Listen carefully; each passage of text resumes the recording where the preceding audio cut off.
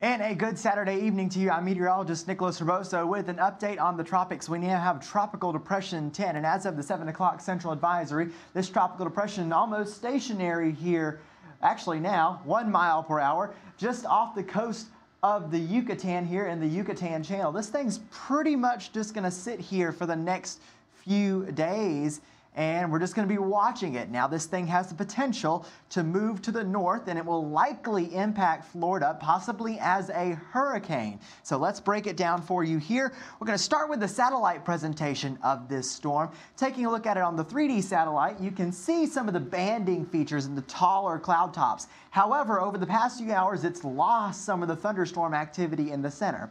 However, some radar from Cancun is indicating that there is kind of a smaller, smaller complex of thunderstorms near the center of the storm. So some things going for it, some things going against it. It's in an area of very light wind shear right now, but there is some wind shear, so it doesn't have the perfect environment just yet. But as it moves into the Gulf of Mexico, the environment might get a little bit more organized. There's a look at that full screen for you on the 3D satellite. You can see those tall thunderstorm cloud tops there.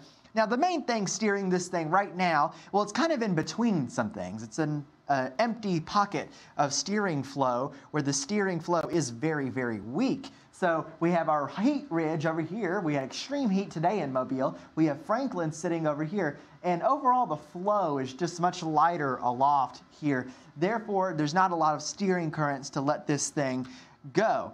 So where are the forecast models taking this thing right now? Well, there's been a lot more consensus, a lot more concentration of the models in recent hours towards the Big Bend of Florida, anywhere from Apalachicola kind of towards kind of the more rural area of the Big Bend there, and overlaying a different set of plots on it. This is the GFS ensemble plots. You can see that there is some consistency, kind of near Apalachicola, really, for landfall of this system. So nice to see some consistency on the forecast models. In fact, in between the GFS and European, also we've developed some consistency. It lingers around all the way through Monday. This is Tuesday, and it's just now in the center of the Gulf of Mexico getting its act together over the eastern Gulf. Then by Wednesday, 7 a.m., we have two circles right next to each other indicating that there is consensus in the models between the GFS and the European that this thing is likely going towards the Big Bend of Florida. However, it is very likely that there will be some shifts in the forecast track and there'll be windshield wipering back and forth, but it's nice to see that we have a little bit of consistency at this time. Wednesday, 11 a.m., significant impacts likely for the Big Bend region of Florida. Now, the intensity of this storm is likely is, unknown at this time. It, National Hurricane Center pins it as a category one hurricane, but we're in warm waters and light shear, so that has the possibility of change. We'll need to watch this really closely. Residents in Florida will need to be making their plans and having them in place ready to go. And then as we head towards the end of the week, this thing actually dissipates over land or goes out over the open waters of the Atlantic. The Carolinas will need to watch this for sure. So to kind of review for you, 30 mile per hour winds right now. Let's take a look at this official hurricane track from the National Hurricane Center. As we can see, Tuesday at 2 p.m., a Category 1 hurricane, then landfall early Wednesday somewhere in the Big Bend region as a hurricane, most likely. What strength, it's still hard to tell right now but National Hurricane Center going with Category 1. Here's kind of the main summary for you here, kind of what you need to think about if you're, especially if you are in the Florida Panhandle, if you're in the Big Bend region of Florida or the Florida Peninsula, impacts likely likely in the red area. So make sure you're paying attention there.